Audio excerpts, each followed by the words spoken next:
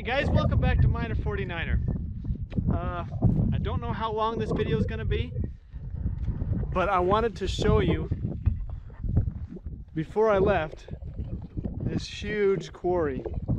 I don't know what's in here, but I just couldn't leave without showing you. We finally made it to the top of this mountain here. Well, obviously not the top, but to the upmost, uppermost part.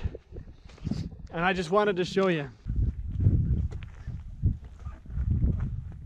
That's a big pit.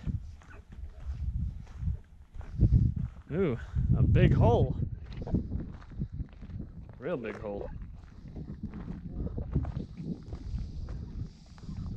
And a skunk. You smell that? We got a skunk. Pepe Le Pew.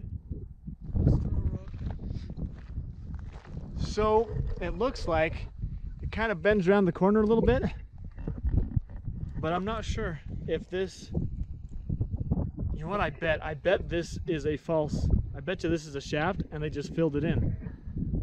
Or in digging down here, they connected to something that always was already there. But over there, you can see the remains of possibly a, a staircase of some sort or just scaffolding or something. That's pretty cool. We got a little rope to help us climb on this side. Same on that side. Just not sure what's worth looking at.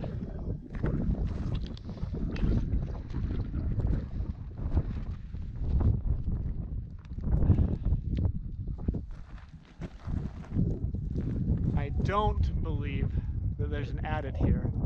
There might be something way up there, but that's a heck of a climb.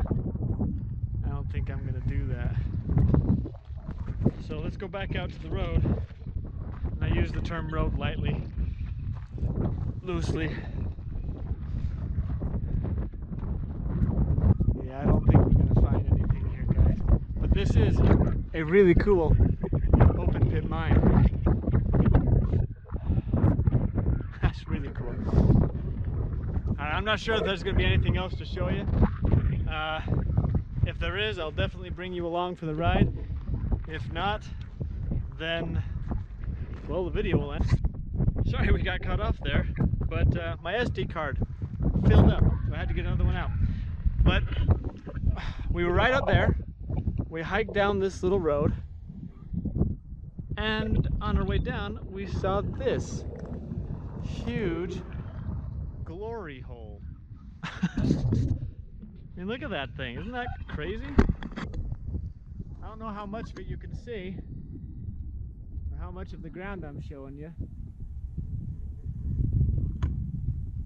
But this is a huge hole. A huge hole. Now it looks like there's another tailing pile over there. But to be perfectly honest, I am about explored out. I'm done for the day, so wanted to end the video here with a huge thank you to you guys for sticking through this video. I know it wasn't the most exciting video in the world. These old mines are an important part of my history, of many of your histories. And something I learned is this this bit up here that we were just at. Apparently that was done afterwards, like years later, after the the tunnels were dug. And as a result, a lot of those tunnels were destroyed because of this thing. Which is too bad, you know. Uh, but I'm trying to remember how to get out of here. but I've documented them. They're here for maybe forever. and I'm happy about that. Thank you guys for joining us today on Miner 49er, and y'all have a good week.